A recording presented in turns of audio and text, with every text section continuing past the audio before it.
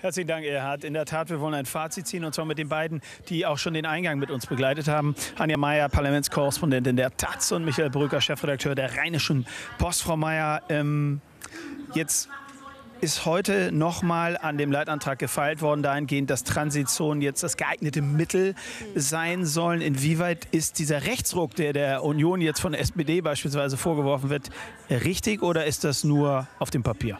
Ich denke, das ist erstmal nur Kosmetik, was da betrieben wird. Also es wird sozusagen dem, den Delegierten jetzt äh, nachgegeben. Der, der, Bundesvorstand hat nochmal nachgebessert. Und äh, damit äh, wird jetzt erstmal allen Genüge getan und es wird ein bisschen Frieden hier in den Saal gebracht. Sehen Sie das ähnlich, Herr Brücker? Weil gestern hieß es noch, hier sei ja keine Kontroverse. Heute hat sie dann in Teilen doch stattgefunden. Ich sehe durchaus eine Kontroverse. Die Kanzlerin hat gestern ihre Delegierten aufgerufen, ihr müsst mir helfen. Nun haben sie geholfen. Sie haben sie nämlich zu einem Kurs gezwungen, den Angela Merkel eigentlich nie wollte. Sie wollte nicht das Vollverschleierungsverbot. Sie sieht die Transition kritisch und sie sieht eigentlich auch die Abschaffung der, äh, der, der, der doppelten Staatsbürgerschaftseinigung in der Großen Koalition äh, kritisch. Nun haben alle drei äh, Positionen, wurden ihr vom Parteitag aufgezwungen. Natürlich ist das ein Kursschwenk. Das heißt, wie wird das erste Gespräch mit Sigmar Gabriel auf, aussehen in den äh, kommenden Tagen? Der Wahlkampf ist eröffnet. Sigmar Gabriel wird sagen, was er schon gesagt hat. Hat er schon getan, ja? Das erreicht den Bundestag nicht. Angela Merkel wird sagen, es wird unser Wahlkampfpapier sein. Wir sind jetzt im Wahlkampf. Natürlich wird nichts davon mehr Gesetzeskraft erlangen, aber die Positionen werden abgesteckt, die Profile werden geschärft und der CDU-Parteitag hat die, die, der Kanzlerin klar signalisiert, mehr Härte, mehr klarer Kante in der Asyl- und Zuwanderungspolitik. Ganz klare Botschaft. Wir machen eine kurze Pause. Wir gehen nämlich nochmal in den Saal, weil dort kommen jetzt die Abstimmung zum Leitantrag.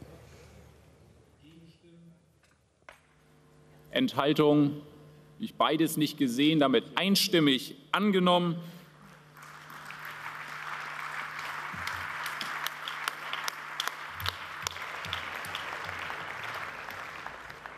Ich bedanke mich für die konzentrierte Beratung und gebe jetzt weiter an den Kollegen Kretschmer. Ja, meine Damen und Herren, wir kommen zu den weiteren Initiativanträgen. Da liegt die erste Wortmeldung vor für den Antrag 150. Äh, das heißt, die Anträge C Außer der Tatsache, dass wir eben schon darüber gesprochen haben, dass jetzt erstmal auf dem Papier eine Bewegung nach rechts ist. Aber was muss die Kanzlerin jetzt in den kommenden Monaten da an Taten folgen lassen? Tja, da bin ich selber gespannt, wie das jetzt ausgehen wird. Also schon allein die, die, das Ende der also die Forderung nach dem Ende der Doppelstaatsbürgerschaft ist eigentlich eine Aufforderung an die Kanzlerin, sich einen anderen Koalitionspartner zu suchen. Die Frage ist, wer sollte das sein? Also ich glaube, da käme im Moment, und die sind noch nicht mal im Bundestag, die AfD nur in Frage aus meiner Sicht. Also das alles stellt sie vor, eine, vor ein Riesenproblem, finde ich, in Bezug auf ihre Partei als Chefin dieser Partei. Thomas de Maizière hat vor der Abstimmung über die doppelte Staatsbürgerschaft, über die Optionspflicht schon davor gewarnt. Genauso Peter Tauber. Nachher hat Volker Kauder gesagt, das sind Beschlüsse des Parteitages, Wünsche der Union. Aber das kann man nicht automatisch in Gesetz fassen wie groß ist die Sorge, dass das jetzt richtig kracht noch in der Koalition oder lässt man das einfach so ausgleiten? Wir sind Mitte Dezember schon. Es geht jetzt in die Weihnachtspause. Dann, dann kommen, die, kommen die Abgeordneten Mitte Januar aus den Ferien wieder und dann sind wir doch schon im Wahlkampf. Wir sind im NRW-Wahlkampf. Es wird nichts davon mehr gesetzt. Die Prognose äh, wage ich mal. Aber der Parteitag äh, hat klargemacht, Frau Bundeskanzlerin, die inhaltliche Positionierung, die werden wir Ihnen jetzt auch ein wenig aufdiktieren. Es geht hier nicht mehr um große Koalition. Wir wollen unser Profil schärfen. Übrigens, egal mit welchem Koalitionspartner dann danach etwas möglich ist oder nicht. Jetzt geht es nur noch um uns. Dieser Parteitag ging nach innen, der ging in die Selbstgewisserung einer konservativen Seele und das ist durch den Parteitag auch teilweise jetzt erfolgt. Ob man inhaltlich da jetzt nun mit einhergeht oder nicht, aber es ist erfolgt. Die Merkel muss jetzt etwas machen, was sie selber so nicht wollte.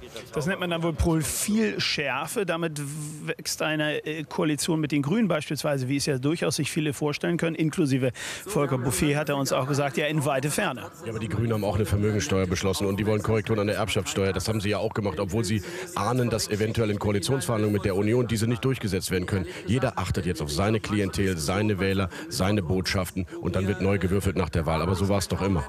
Ja, aber das klingt doch danach, als würde der Wahlkampf schon noch eine Spur anders werden und durchaus auch eine Spur härter. Oder? Ja, das denke ich auch. Ich glaube, dass, sich, dass dieser Parteitag gezeigt hat, dass sich hier die Delegierten von ihrer Vorsitzenden entfernen.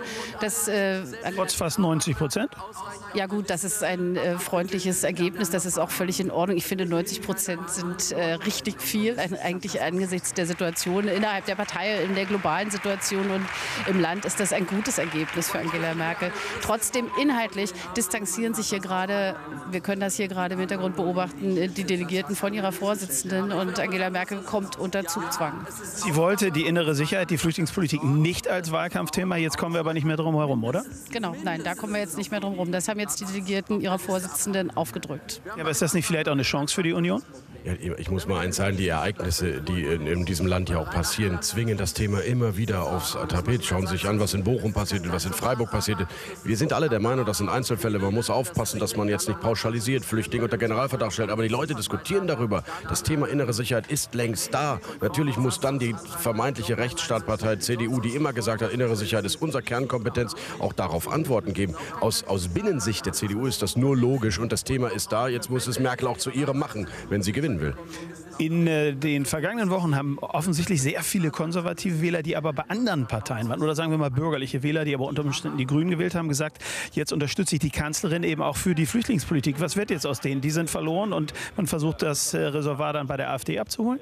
Naja, es gibt das eine ist der Parteitag, das andere ist die Realpolitik. Jetzt schauen wir mal, wie die Kanzlerin nah und, und, und CDU-Vorsitzende nach diesem Parteitag agiert. Ich meine, sie ist ja auch weiter im tagespolitischen Geschäft und äh, es, jeden Tag ereignen sich neue Dinge in diesem Land, werden neu diskutiert und daran wird man sie messen. Und das ist noch lange, lange hin bis Mitte September, bis zur Wahl. Ich würde mal eins sagen, Leander Hausmann hat sich ja neulich geäußert, einer dieser, dieser äh, aus der Kultur- und Kreativszene, die gesagt haben, erstmals könnte ich mir in meinem Leben vorstellen, CDU zu wählen. Natürlich wird der bei den Beschlüssen wieder zweifeln an, aber das kann ja nicht das Ziel der CDU sein. Die haben 2013 fast die absolute Mehrheit erreicht, ohne die Flüchtlingspolitik, ohne diesen liberalen Anstrich, den sie sich jetzt letztes Jahr gegeben hat, die Kanzlerin ihrer Partei. Die gehen zurück auf ihre Kernklientel. Das ist Mobilisierung im Wahlkampf. Es wird einen Lagerwahlkampf geben und trotzdem äh, Prognose am, am Tag X nach der Bundestagswahl sitzen sie alle zusammen und räumen ihre eigenen Positionen ab, um koalieren zu können. Das heißt, blicken wir noch mal auf die Parteivorsitzende selbst. Jetzt ist sie wiedergewählt. Jetzt geht sie mit 89,5 Prozent gestärkt oder eben auch mit leichtem Dämpfer ge gestärkt. Ähm, was nimmt sie ansonsten mit von hier? Ist das wieder eine Partei, in der diskutiert wird, so wie der heutige Tag es gezeigt hat, oder eher doch wieder weniger und man ist mehr auf Harmonie bedacht? Sehen wir das Wahlergebnis für Jens Spahn, 70 Prozent, ein bisschen mehr. Das ist, und er hat sich eingemischt. Er hat jetzt heute auch dafür mit Sicherheit mit dazu geführt, dass die doppelte Staatsbürgerschaft, die Optionspflicht äh, wieder kommen soll. Ähm, wird hier wieder diskutiert oder doch eher weniger? Also heute, das ist äh, ein äh, gutes Ereignis für diese Partei. Ich finde, sie sollte viel mehr diskutieren. Das hat sie hier auch wirklich getan. Äh, die Position von Jens Spahn ist nun auch eine sehr machtbewusste Position. Der polarisiert sehr stark, aber genau das braucht diese Partei auch. Leute, die sich profilieren, die auch mal einen Kontrapunkt setzen zur Vorsitzenden. Insofern äh, gut so. Diese Partei sollte endlich wieder stärker ins Gespräch kommen und das auch nach außen tragen. Viele Kollegen von der ausländischen Presse, ganz kurz noch Michael Brücker, hatten geschrieben, ähm, das ist die alte Merkel, aber keine neuen Ideen, keine Zündidee, kein Thema. Ähm, hat sich das vielleicht heute ein Stück weit geändert? Ich finde das übrigens, dass die recht haben. Die, die ersten 60 Minuten der Rede von der Bundeskanzlerin Merkel waren nichts Neues. Da war keine Vision für morgen, wie, wie Deutschland aber die Frage sicher ist, ob die Wähler was Neues Richtig. wollen. Ja, das ist die Frage. Und Angela Merkel hat sich entschieden, wollen sie nicht. Aber sie muss die Partei hinter sich scharen. Und das war die einzige Botschaft ihrer Rede war, ich habe verstanden, ja, ich weiß, ihr tickt anders, ich habe euch viel zugemutet und jetzt lasst uns überlegen, wie wir das gemeinsam gewuppt kriegen. Aber die große Vision für, für die nächsten vier Jahre im Bund hat Angela Merkel gestern hier auch nicht skizziert. Aber die Partei ist wieder diskussionsfreudiger geworden. Also, also wenn ein, Kanzlerwahlver ein Kanzlerwahlverein will sie nicht mehr sein. Das ist auch eine Botschaft der veränderten Leitanträger heute. Ähm, und trotzdem scharen sie sich ein letztes Mal um die Kanzlerin, weil sie eben wirklich im Moment ohne eine echte Alternative in der Führungsspitze der CDU sind. Aber sie haben auch klar signalisiert, wir sind kein Kanzlerwahlverein alleine mehr. Wir wollen die Inhalte mitdiskutieren. Ein letzter Satz noch zur Optionspflicht bei der doppelten Staatsbürgerschaft. Ähm, das war ja ganz knapp das Ergebnis. Jetzt 51 Prozent. Gleichwohl haben, sind viele wohl der Meinung, dass man durchaus verlangen könnte, ab 18 sich dann zu entscheiden. Das spricht offensichtlich ja auch aus der Seele vieler Bürger, die so ein Bedürfnis nach zumindest Veränderungen in dem Sinne haben. Wo wird das in der öffentlichen Diskussion hinlaufen? Naja, das spricht zuallererst mal aus der Seele der, der CDU-Delegierten. Ja? Also äh, ich halte das für einen schweren Rückschlag. Also das ist die, die Integration wirklich? Die, ich glaube, dass die CDU hier einen großen Fehler gemacht hat, weil sie nämlich genau die Leute, die sie an sich herangezogen hat, auch mit, dem Mitglieder, äh, mit der Mitgliederinitiative aus dem Konrad-Adenauer-Haus, mehr Zuwanderer, mehr Junge, mehr Frauen, die werden jetzt, ein Teil von denen wird jetzt wieder zurückgestoßen. Ein schwerer Fehler, glaube ich. Da haben Sie, ich sehe es ehrlich gesagt ein Stück weit anders, aber ich sehe es auch etwas anders. Man kann von einem 18-Jährigen äh, durchaus erwarten, dass er sich entscheidet. Und es äh, gibt ja auch Positivbeispiele, äh, die äh, eine Entscheidung für die Staatsbürgerschaft auch äh, zur Integration geführt haben. Also das ist kein dramatischer Beschluss. Da wurde jetzt auch nicht die Staatsbürgerschaft endgültig gekippt für diejenigen, äh, die unter 18 sind. Also ähm, man muss mal, das war ein Kompromiss in der großen Koalition. Die CDU hat gesagt, wir wollen aber mal demonstrieren, wo wir da stehen. Das ist völlig legitim. Das ist auch kein Rückschlag in der Integrationspolitik meiner Meinung nach. Okay, ich bedanke mich bei Ihnen beiden, Anja Meier, Michael Bröker. Wir werden sehen, wie es weitergeht. Auf jeden Fall dann doch noch größere Veränderungen bei diesem Parteitag am zweiten Tag, ähm, was zumindest äh, die Thematik angeht und was der Bundeskanzlerin und Parteivorsitzenden jetzt mit auf den Weg gegangen wird. Wir befinden uns in den letzten Minuten der Antragsdebatte und alles weitere von Erdschärfer.